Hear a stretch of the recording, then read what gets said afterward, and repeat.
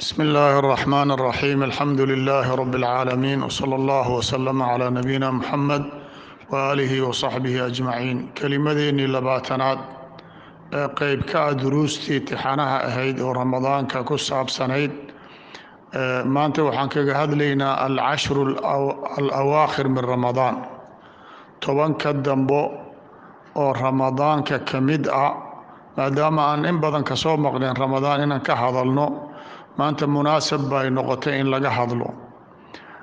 Waxa weeyaan waa fursa liljamiic tobankaa dambo nin kasta wuu u baahan yahay. Ninkii dadaalay inuu dadaalkii kobciyo ou dheeraad ku daro waa u baahan yahay liannahu wuxuu raadinay masiid min alkhayraat bay ahayd.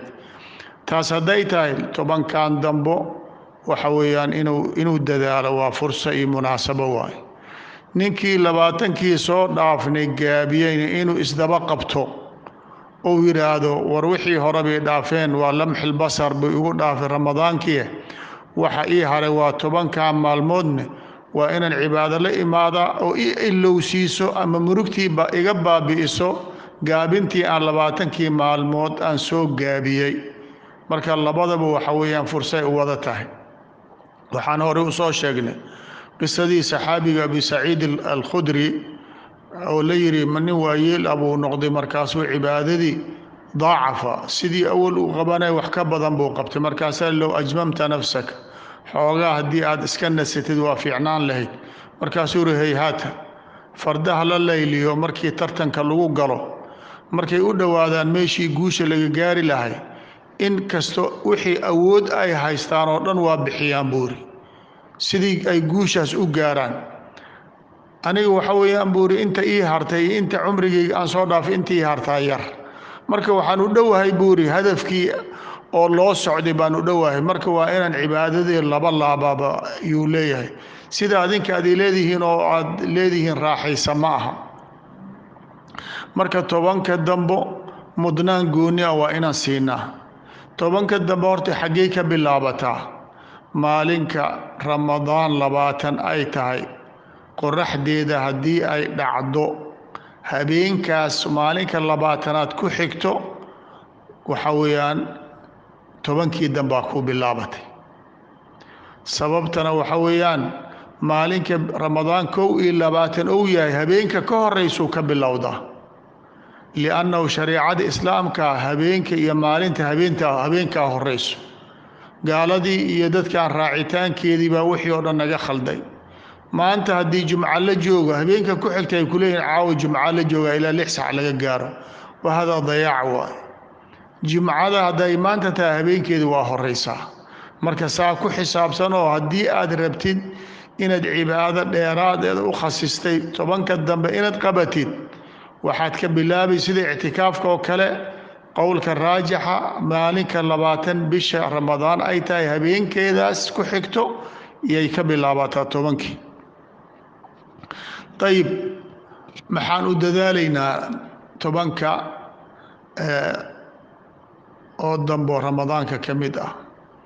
Waxaan u dadaalaynaa lianna waxaa ku jira waxaan labaatankii maalmoodoo hore aan ku jirin oo waxa maanta wax la barbar dhigana aan jirin waa leylat اlqadri sidaa daraaddeed baa waxay tahay in xoog qofkii wixii uu qaban karo oo daacad oo dhan uu qabto shawaaqilka adduunyadan uu iska yareeyo waxaan u dadaalaynaana waxay tahay bal nebiga calayhi salaatu wasalaam fiiri annaga waataan hore ku soo ballannay. Wax kastoo qof mu'min oo khayr uu qaban rabo sharciga ilaahay ku saabsan nebiga xagguu iga jiraa inaad tidhaahdid waay nebiga yuusan kuula mid noqonin cid kale sheekh ariiqa iyo sheekh madhab iyo sheekh siyaasa iyo sheekh alxisbi iyo sheekh alfulaan iyo nebi agtiisa waxay ka yihiin mare markii la yidhaha ayagaa waxay ku wada qasban kulligood inay nebiga ku daydaan.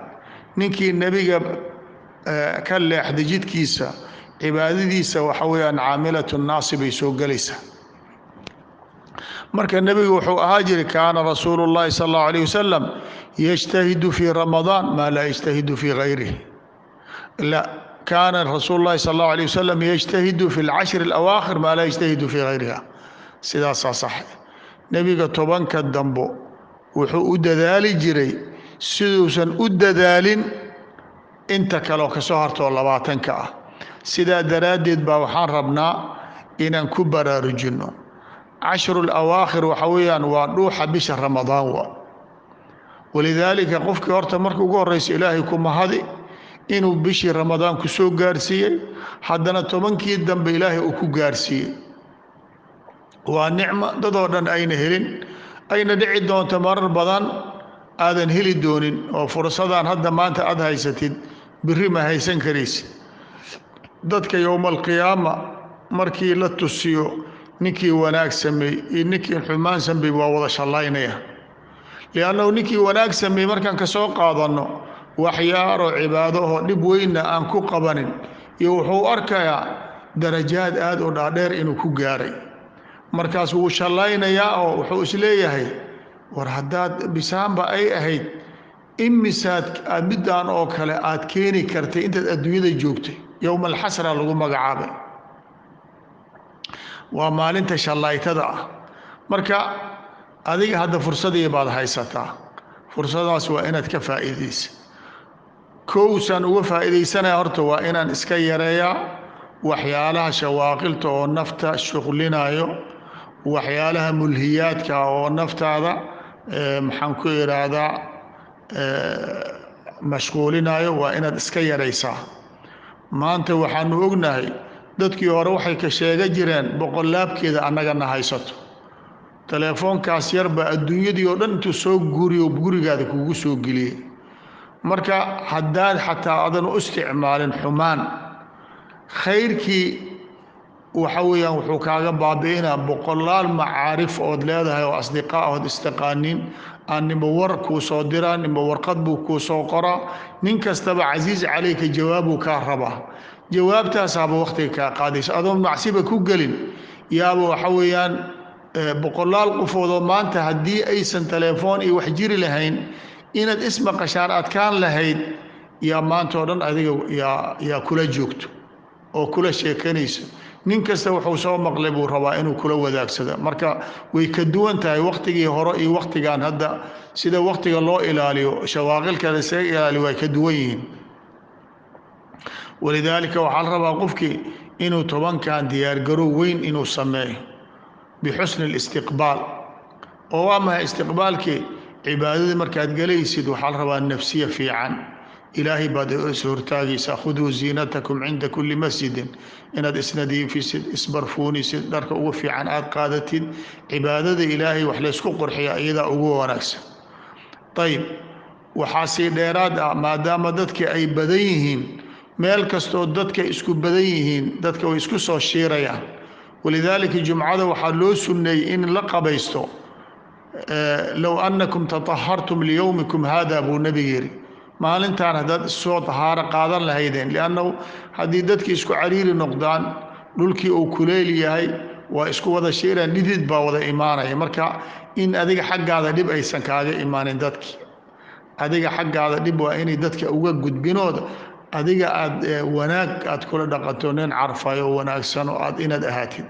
Haddaad dad mu'miniin aad dhibtid ka waran oo aad basal iyo sigaar iyo balaayo intaad soo cabtid ay dadka neebsan waayaan safka kugala jiray. Waxa weeyaan bedela maad khayr helaysid waxa weeyaan dembi baad ku dhacaysaa marka saas hadday tahay cibaadada waxaa ugu wanaag badan ilaahay waxaa loogu dhowaada kalaamkiisa qiraa'at alqur'aan haddii aad markii hore juz akhri jirtay laba ka dhig haddaad saddex akhri jirtay afar ka dhig haddaad afar akhri jirtay shan ka dhig sidaas waa. Liannahu ramadaan waa mowsim lqur'aan shahru lqur'aana ba la yidhaahdaa liannahu qur'aanka sooga degitaankiisa yaaba ka bilowda bisha ramadaan ilahay inuu ku dejiyo. Weliba tobanka dambe qayb ka mid uu ku soo degay. Lidaalika qiimaha uu ramadaan u leeyahay nabiga calayh salaatu salaam jibriil wuu la kulmi jiray habeen kastoo ramadaanka ka mid ah lays muxuu kula kulmi jiray limudaarasati alqur'aan qur'aanka inuu la muraajaceeyo o la akhriyo marka ramadaan iyo qur'aan cilaaqo weyn baa ka dhaxaysa oo qofkii muslimka aysan ahayn marnaba inuu iloobo qur'aankiina waxaad ku dartaa tadabbur inaad macnihiisa xaawishid inaad fahamtid haddana haddaad macnaha fahamtidna isku saxdid camalkaadi yacni waxba keeni mayso qur'aanka haddaad akhrisado waxba aadan tadabburin macno weyn oo aad ka haddii aad tadabburtid oo wixii aad ka fahamtay aadan ku dhaqminna waxba aydana keeni mayso. Marka wixii way isdaba yaallaan waxaa la rabaa midba midka ka ratibmayo inay sidai tahay aada u fulisid. Ayib sidaa daraaddeed baa waxaa weeyaan qofkii waxaa fiican inuu mudnaan siiyo bisha ramadaan oo qur'aanka si gaar ah. Haddiid qur'aankii ka daashid maanta waxa weeyaan asagoo qur'aankii sajilan oo ashrida ku sajilan buu yaallaa bitartiib u dhegayso assaamicu kalqaari. Qur'aankii markii laakiin aadan wax kale ku dhex wadin oo intaad fariisatid inaad dhegaysatid waidaa quri'a alqur'aanu fastamicuu lahu ansituu lacalakum turxamuun raxmadaas ilaahay baad ku helaysa. Laakiin dad baa waxaa weeya gurigeeday ka shaqaysanayaan waa heesayan qur'aankiina waa daaran yahay. Hada nooc min alicraad can alqur'aani waa qur'aanka waxaa la rabaa mar haddaad daartid inaad dhegaysatid dad baa gaari bay shidayaan. Marka saaxiibkiisna waa iskala sheekaysanaa qur'aankana wuu shidan yahay la qur'aanka iska dami. Haddii kale aamusoo qur'aanka dhegaysta marka taa waa mid weeyaan.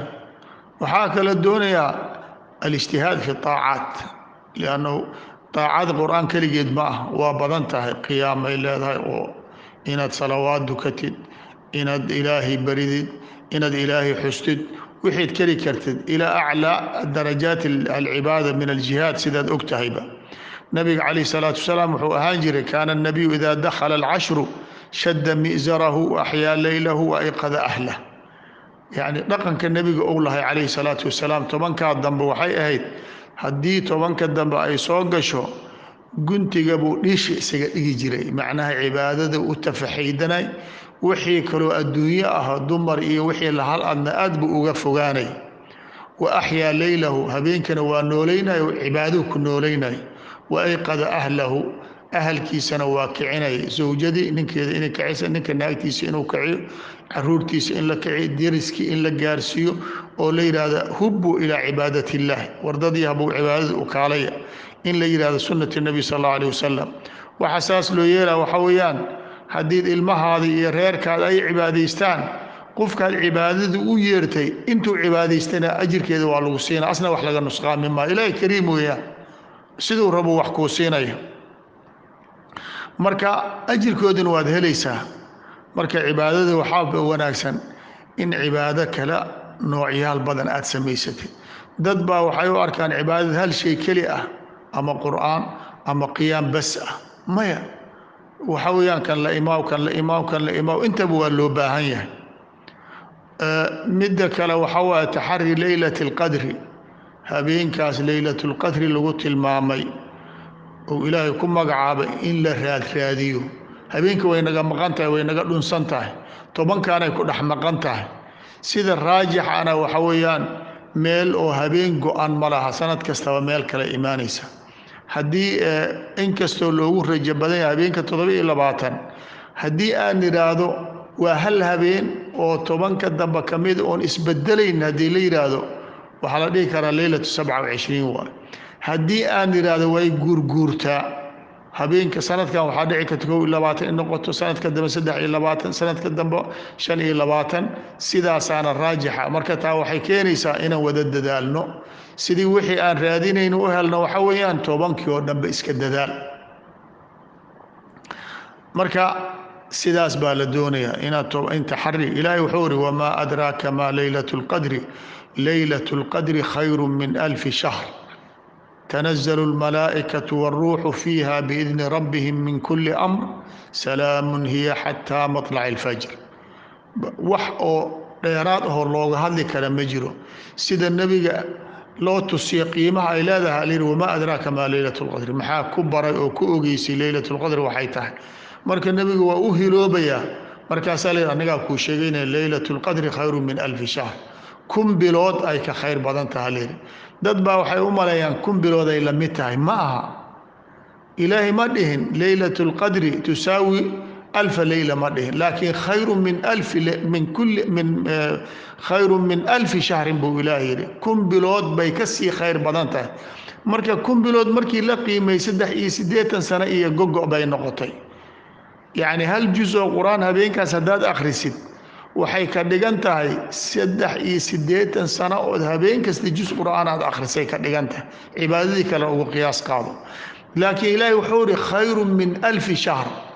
waxaa dhici karta inay laba kunoo bilood saddex kunoo bilood inay tahay. Waa ka khayr badan tahay ele hadduu yidhi in waxaa adcaaf mudaacafay ka badan tahay. Marka ha ku xirin alfa leyla keligeed ha ku xirin. Alfa shahr ha ku xirin. Marka habeenkaas qiimaha ilaahay agtiisa uu ka leeyahay yaa malaa'ig badan baa la soo dejinaya. Malaa'igtaas habeenkaas howl bay qabanaysaa in dadkii addoommanka cibaadada ay samaysteen qaara qoray. Maadaama cibaado badan dadka ay la imaanayaan iyo habeenkaas waxaa loo baahan yahay kiraaman kaatibiina a loo baahan yahay waa qorayaan waxaa habeenkaas loo soo dejinayaa habeen sharaf la waay. Ciidanka markii la rabo munaasaba waaweyn in la jooga dabaaldegaa loo sameeya habeenkaas malaa'igta waa soo dabaaldegaysa waxaa dheeraad e waruuxu jibriilna waa imaanaya. Kabiiru lmalaa'ika la yihahda weliba waxyigu gaar u yahay. Jibriilna waa imaanaya. Ilaahay agtiisa ay maqaam weyn ku leedahay. Dadka ilaahay agtiisa maqaam ku leha habeenkaas la keenaya. Dadkaas waxay ku soo degeen waxaa ka sii qiimo badan biidni rabbihim. Iskama imaan ayaga? Ilaahay baa soo diray. Ilaahay markuu addoomankaas soo dirayo qiimaha habeenkaas agtiisa ay ka leedahay daraaddeed baa loo soo diray. Iskama imaanin biidni rabbihim. Marka min kulli amrin. Min kulli amrin waxaa weeye habeenkaas waa habeenka qadarka u dhici doono. Qofka dhimanaya qofka noolaanaya sanadkaa wixii dhacay oo dhan maamulkeeda malaa'igta loo qaybinaya waa tii ilaahay uu yidhi fiihaa yufraqu kullu amrin xakiim. Habeenkaasaa wax badan la kala bixinaya. Malaa'igta waxay ogaan kartaa sanadkan waxa dhici doonoo dhan baa nin kastaba waxaa weyaan buuggiisa gooni loo siinaya marka buugga fiican sida lagugu qoro waxa weeyaan habeenkaas ilaahay ha kaa arko wax wanaagsan oo cibaado ah. Marka habeenkan ilaahay agtiisa qiimo weyn bay ku leedahay. Cumriga gaaban bay weynaysaa man qaama leylata alqadri iimaanan waxtisaaban gufira lahu maa taqadama min dambih waxa kaloo doonay maxay tahay? Habeenkaas leylatulqadri ninkii ilaahay waafajiyo asoo cibaado u soo jeedo qiyaamka saas weeyaan. Laysa salaad keligeed maaha haddaad qur'aan u soo jeedid haddaad ilaahay inaad xus u soo jeedid haddaad ilaahay baryaysid man qaama leylata alqadri baad soo gelaysaa. Oo waxaa kugu ximbaarayana iimaan iyo ajir ilaahay aad ka raadsanayda haday tahay gufira lahu maa taqadama min dambih sidaa daraaddeed baa waxaa la sunneeyaa tobanka dambosaynaba kuu dhaafin adduunyadao dhan baa meel layska soo dhiga markaasaa la ictikaafa. Ictikaafka macnihiisa waxa weeye cibaadada ilaahay oo loo go-a dadkana laga tago.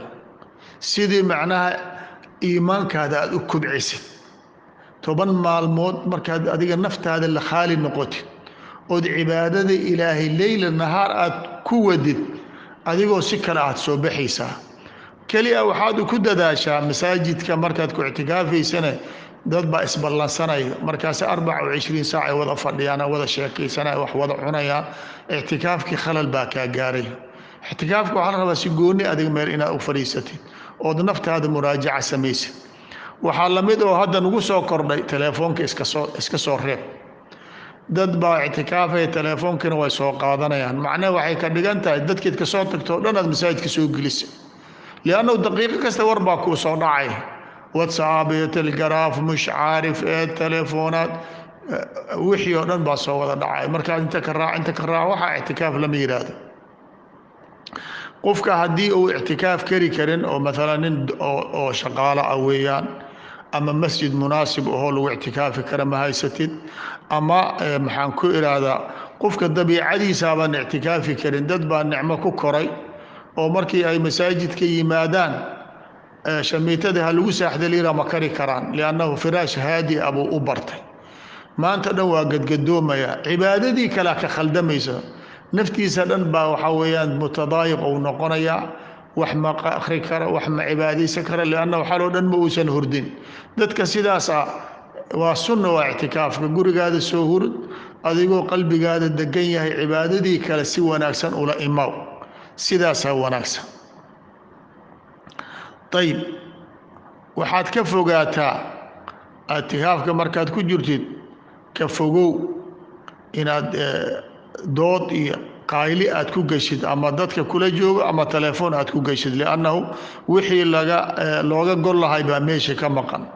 Marka ictikaafka waxa weeyaan naftaada dhaawacyaashii adduunyada ay soo gaarsiisay kow iyo tobankii bilood yaa hadda aad rabtaa inaad iska dhaydid oo daaweysid qofka haddii u jirada waad aragtay jira jasadka hadday ka qabata ninka dakhtarka wuxuu u qorayaa maalmo oo soo hadba cudurka intuu la egyahay maalmo soo raaxaysaa la leeyahay saddex maalmood toban maalmood bil waxay noqotaba dhakhtarka uu qoraya dowladdu waxay ku qasban tahay ninkaa fasax in la geliyo. Tasawar annaga imisaa dhaawac adduunyada nagu socotay kow iyo toban bilood? Jirkeenna maxaaba ka nool xaqiiqada markii la yidhaahdo? Waxaan u baahannahay min jadiid jidkii inaan aan soo daaweyno soo dhayna baan u baahannahay waxyaalaha lagu oo lagu hagaajinaya waxaa ka mid eh ictikaafkaasaa ka mid eh. Waxaa sidaasoo kale layska rabaa duca mawsimkeedii aa la joogaa ninka saa'imka ilaahay dadka kale waa kaga dhow yahay. Waxa weeyaan ninka saa'imka farxataani buu leeyahay.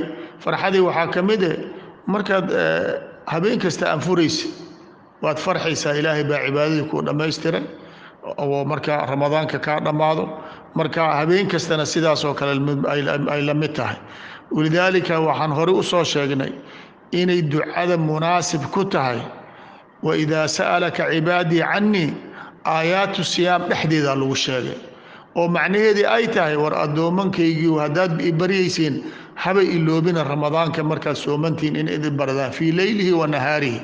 Waidaa sa'alaka cibaadii cannii fainii qariibun ujiibu dacwata addaaci idaa dacaanii. Falyastajiibuu lii waliyu'minuu bi lacallahum yarshuduun ilaahay waxuu yihi nabigiisa u sheeg addoommankayga inaan u dhowahay nin kastoo i baryana aan ajiibaya ducadiisa hadduu i baryo falyastajiibuu lii macnaheedu waxaa layidhi sidaan uga ajiibi lahay ha ka shaqeeyaano. Yacni ha iga dalbaano sidaan uga ajiibi lahay macnaha waxa weeyaan waxyaalaha keenaya ducada in lagaa aqbalin ka fogow ay ka mid tahay xaaraan la cuno. Marka nebiga calayh salatu salaam ducada wuxuu ihi adducaau huwa alcibaada ducada waa cibaado. Ayadaaba cibaad. Macnaha laysa hunaaka cibaada ila ducaa. Liannahu waxa weeyaan cibaadada maxay tahay atadallul ilaahay laysku dulleeyay addoonka markii dullaynta ay ka muuqanaya waxaa weeyaan markuu ilaahay gacmaha kor u taaganaya addoonnimadii ka muuqato. Cibaadadan kale sidii ducada uga muuqata ugama muuqanayso. Walidaalika maadaama saas ay tahay ilahi wuxuu uri udcuunii astajib lakum. Ina aladiina yastakbiruuna can cibaadatii sayadkhuluuna jahannama daakhiriin. Yacni ilaahi wuxuu uri ibaryo ha iska kay waxa weeyaan baryada ilaahay aad baridid. Waxa weeya inaad addoon ilaahay u baahan tahay oo faqiir aad tahay inuu ilaahay kariim yahay wax kasta uu awoodo ay tusinaysaa ducadii.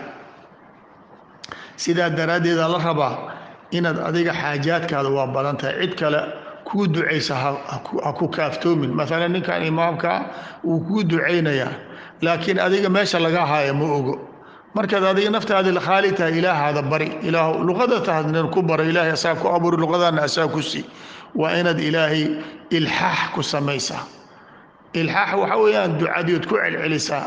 Oodan dhintii hore aan ducaystaaba aan aahaarkeeda arkinatan maxaaba maya saas ma ah ilaahay mar kastaba bari ku celi ku celi ku celi.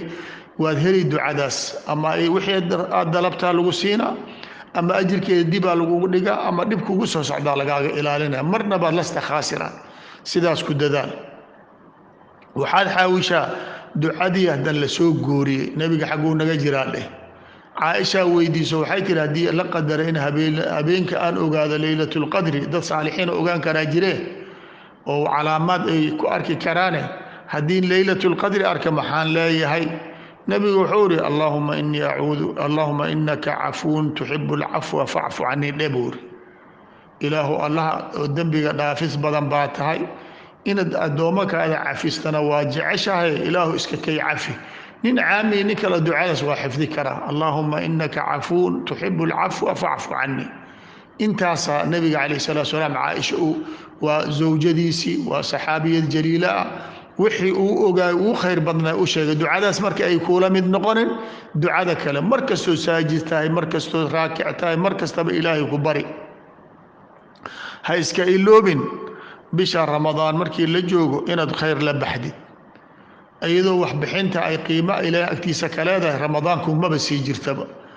Nabiga calayhi salaatu wasalaam wahwa qudwatuna kaana ajwad annaasi wa kaana ajwad maa yakuunu fii ramadaan xiina yalqaahu jibriil nebigaasooba oo deeqsi ahaan jiray yaa ramadaanka haddana ugu sii deeqsi badnaay marka sidaasaa la rabaa oo in ilaahay subxaanahu wa loogu dhowaado wax kastood kari karaysa addoommanka ilaahay markuu ammaanay cibaaduraxmaan wuxuu ku tilmaamay waaladiina idaa anfaquu lam yusrifuu walam yaqturuu wa kaana bayna dalika qawaama maanta waxaa weeyaan dadkii hore waxaa laga ilaalinaya xoolihiin oo dhan hal mar ha wada bixina aa laga celcelinaya annagana maanta waxay naga joogtaa war wax un bixiya annaga waxba bixi mayno liannahu adduunyadii baa nala weynaatay aakhiradii baa nala yar. Saxaabatu rasuulilah ilaahay wuxuu ihi lam yusrifuu walam yaqturuu. Yacni xoolihii bixinteedii israaf kulligeed ha wada bixinina layidhi liannahu dad oo wada bixi karaa jira loo ogol yahay oo hadhowti aan shallaaynin ninaa jiro xooli intuu bixiyo beri ou leey laytanii lam afcal. Waaka maanta yaa wax isiina ilmihiya masruuf iga rabo. Ninka saas dhahaya lam yusrifuu walam yaqturuu wakaana bayna dalika qawaaman. Yaa laga rabaa wallahu aclam wsala allah wslam calaa nabiyina muxamed waaalihi wasaxbihi ajmaciin